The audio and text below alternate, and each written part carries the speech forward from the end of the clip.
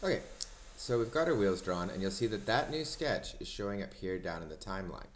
You can also see your sketches if you expand the sketches icon under your browser and you can see there's the sketch that we drew the car in and there's the second sketch where we drew those wheels.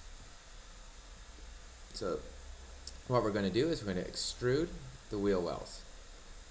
To do that we go to create and extrude and we can come down. Uh, let's try that again. Create extrude. There we go.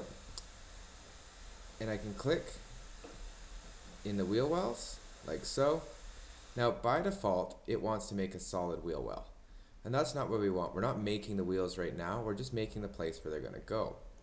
So instead of making them solid I'm gonna turn this the other way. And you'll see instead of blue it's gone to a, a red look and it's cutting but we want to make sure under operation we've got cut. If we change that back to join, you can see how it makes a solid piece.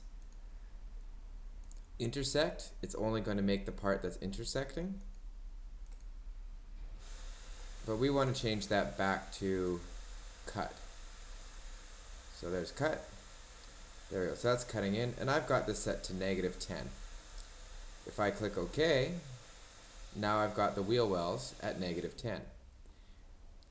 Now, we've got the cut extrusion in. Let's take a look at how we can mirror these to the other side. Under create, we've got a command called mirror. If I click on mirror, first thing it wants is faces. So I, I need to click on the faces that I want to mirror. So I've clicked on the round bits and that flat back bit.